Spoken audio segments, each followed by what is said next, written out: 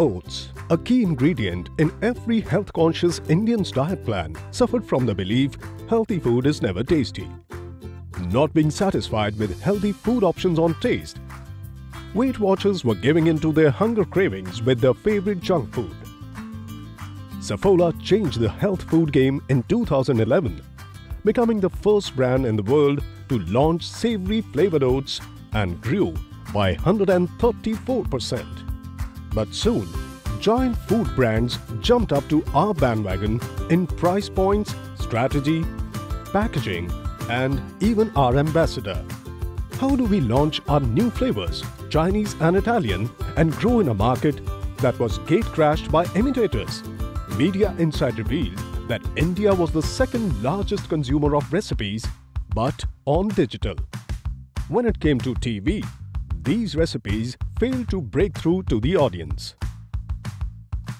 In a market where TV enjoyed the highest penetration, using our conflation media model, we decided to expand TV potential by scaling our digital content on TV.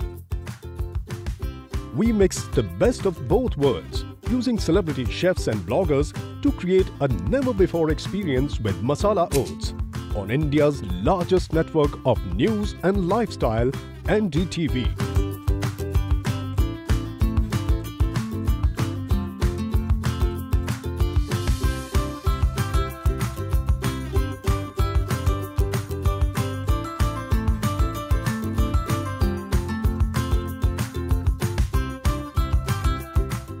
This was done through a format designed only for Saffola Masala Oats to live up to the oath of hashtag breakup with junk with hashtag crave no more.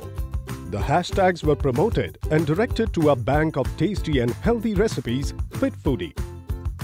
The noise of this change could be seen and heard with long queues outside the finale of the Food Truck Challenge